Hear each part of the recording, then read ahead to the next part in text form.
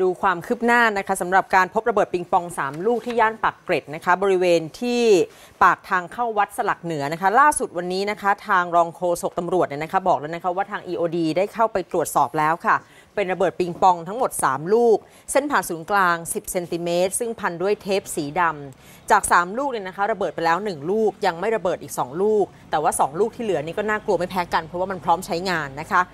ช่วงเช้าค่ะมีกลุ่มวัยรุ่นที่ขี่มอเตอร์ไซค์ไล่กันมา น่าจะเป็นคู่อริกันนะคะ ซึ่งตอนนั้นเนี่ยได้ยินเสียงระเบิด หนึ่งครั้งอันนี้คือปากคำจากคนที่เห็นเหตุการณ์นะคะ แต่เขาก็ไม่รู้ค่ะว่ามีระเบิดเหลืออีก 2 ลูกที่ยังไม่ระเบิด จนช่วงบ่ายโมงค่ะมีคนมาเห็นว่ามี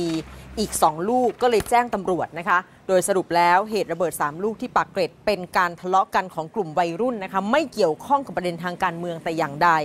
แต่ว่าทางรองโฆษกตำรวจเนี่ยนะคะ ท่านก็บอกนะคะว่าขอบคุณประชาชนที่ช่วยเป็นหูเป็นตา อยากจะให้มีการสังเกตเกี่ยวกับวัตถุต้องสงสัยนะคะ ถ้าพบสิ่งที่ไม่เคยเห็น ไม่รู้ว่าเป็นของใคร ไม่ใช่ที่อยู่ของมันที่ควรจะอยู่นะคะรวมถึงดูไม่เรียบร้อยเนี่ยก็ขอให้แจ้ง 191 หรือว่า 1599 ตลอด 24 ชั่วโมงได้ทันทีค่ะ